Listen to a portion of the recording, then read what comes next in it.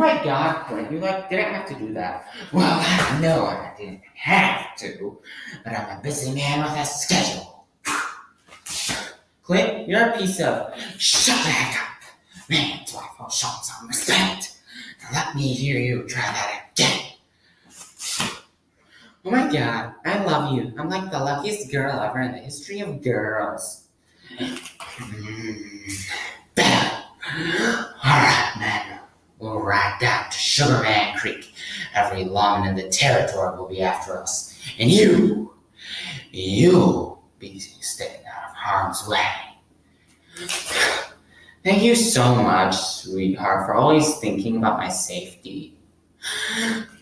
You'll ride down to, uh, Old Stump. There ain't nothing on Old Stump. Wow, wow. Is it.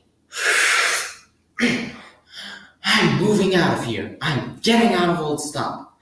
I mean, what is there to live for in the American frontier in 1882? What? Diseases, outlaws, angry drunks? Oh, the doctor. I had a cold a few years ago. You know he said? You need an ear nail. A nail in my ear. Heck, I can even dive down to. you know cholera? The pooping disease? Yes, Edward, the pooping disease. And if you want to see death, all you need to do is step outside the front door. Mm, that is our mayor. He is dead. He has been lying there for three days. No one has done a thing. Not moved his body, not looked into his death, not even tried to replace him.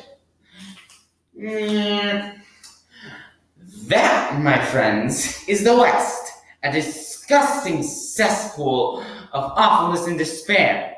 Oh, God? Yeah, mm-hmm. Yeah, my life sucks.